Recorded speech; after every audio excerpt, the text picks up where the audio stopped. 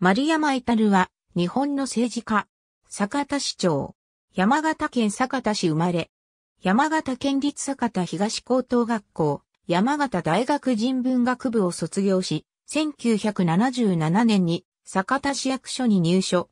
商工公安課長、企画調整課長、水道部管理課長、健康福祉部地域医療調整官、財務部長、総務部長を歴任したほか、東北公益文科大学の創設にも関わった。2012年12月、坂田市役所を退職し、坂田市副市長に就任。在任中は病気療養で職務を離れた本間正美市長の職務代理者として市政を取り仕切った。2015年7月20日、咽頭癌により本間が死去。死去直前の本間から後継指名を受けたとされる。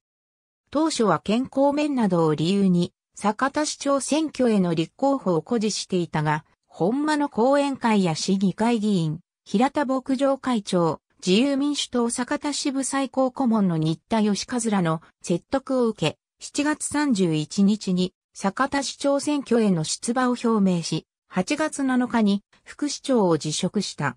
9月6日に実施された市長選挙では自民党、公明党の推薦を受け、元民主党衆議院議員の輪島美希を破り、初当選した。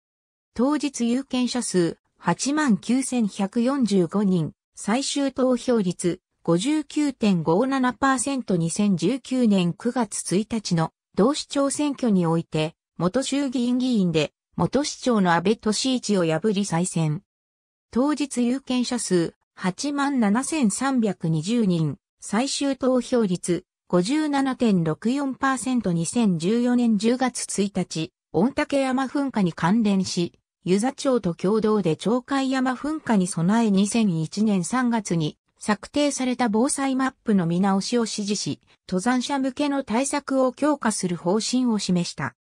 2015年7月2日、山形県鉄道利用、整備強化促進規制同盟会理事会に出席し、山形新幹線の省内延伸を2016年度基本方針に入れるように山形県知事の吉村美恵子に求めた。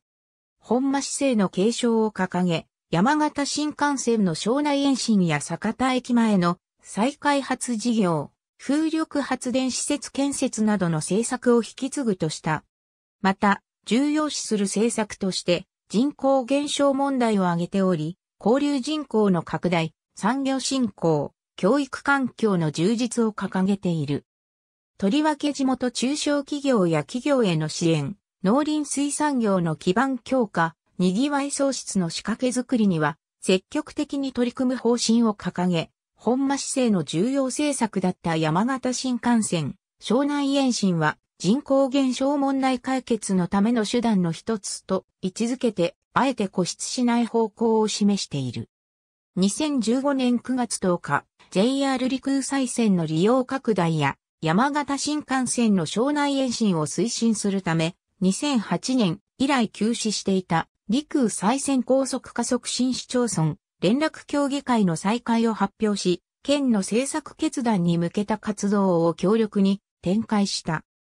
しかし、山形県知事が大宇新幹線及び羽越新幹線の両整備新幹線推進方針を打ち出すなど、県の方向性が変化が見られないことから、同協議会を2021年9月をもって解散することとし、今後は山形県鉄道利用、整備強化促進規制同盟会の中で山形新幹線省内延伸の実現を訴える方針に転換した。また、自身が会長職を務める省内開発協議会において、同協議会の最高顧問である、平田牧場グループ会長で、東北公益文科大学理事長である、新田義和氏と共に、日本海沿岸東北自動車道と地域港、比較道路新庄坂田道路の整備促進に加え、坂田港の利用促進のため、政府関係省庁や政権与党への要望活動を積極的に展開した。なお、2期目にあたり、公設民営で設立された東北公益文科大学の公立化の検討を公約に掲げ、令和3年1月の山形県知事選挙で4選を果たした吉村美恵子知事の公約にも盛り込まれ前進を見た。加えて、2020年の菅総理が打ち出した2050年カーボンニュートラルに向けては、石炭火力発電所である酒田共同火力発電の今後の動向に留意しながらも、令和3年度内での再エネ循環都市宣言を視野に入れつつ、酒田市沖の洋上風力発電事業と酒田港の基地港湾指定の促進を表明している。1期目と2期目における具体的な成果をまとめると以下の通り。産業、産業振興まちづくりセンター、三六の開設、良品計画と地域発展を目指すパートナー協定締結、プレステージインターナショナルと移住及び女性活躍等の推進に関する連携協定締結、中町二丁目地区市街地再開発事業竣工、日本経済新聞社の調査によるテレワーク環境が整っている都市で全国第2位交流 NA 総合研究所と地域活性化のための連携協定書を締結、駅前地区市街地再開発事業の竣工、日和山観光拠点施設整備、酒田市民交流おもてなし市民会議設立、酒田市国際交流協会設立、国際交流活動、東京2020オリンピックホストタウン、ロシア連邦サンクトペテルブルク市との産業、教育文化交流、ローマでの土門兼写真展開催、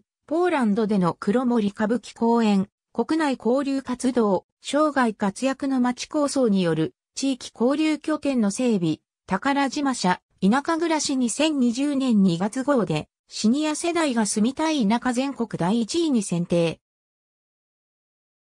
社会インフラ、坂田港、ポートオブザイヤー2016選定、ジェットスタージャパン成田空港路線開設、東山港不山港、コンテナ航路開設、非沿道坂田港 IC ユザヒ5 IC 開通、飛島への海、底光ケーブル敷設、県広域水道用水供給事業と、水道事業の垂直水平統合に向けた働きかけ、健康福祉子育て世代包括支援センター、ギュッと開設、既存に保育園の統合保育園の開設と、特別保育の実施、障害のある人もない人も共に生きる街づくり、条例制定、歯と高校の健康づくり推進条例制定、中町にぎわい交流施設会館、全救急車への12誘導心電図測定装置、導入、教育、教育支援員を市非単独で60人を配置、小中学校全普通教室へのエアコン、児童生徒への一人一パソコン整備、坂田市教育研修センターの開設、小中一貫教育の推進、文化、鳥海山飛島ジオパーク認定、日本遺産、北前船寄港地に認定、文化芸術基本条例制定、三居倉庫の国指定史跡、坂田文化財団設立、スポーツ、東京2020オリンピックパラリンピックホストタウン、登録、八幡体育館改修、コロナ禍後の街づくりデジタル変革戦略策定、区土設置、行政、東北公益文科大学教授、矢口明子氏を副市長に登用、日本一女性が働きやすい街宣言、酒田市総合計画策定、第12回マニフェスト大賞マニフェスト、推進優秀賞受賞、酒田市産業振興街づくりセンター、36開設、酒田市スマート農業研修センター開設、酒田市デジタル変革戦略室設置、酒田市子ども家庭総合支援室設置、酒田市、新型コロナワクチン接種対策室設置。ありがとうございます。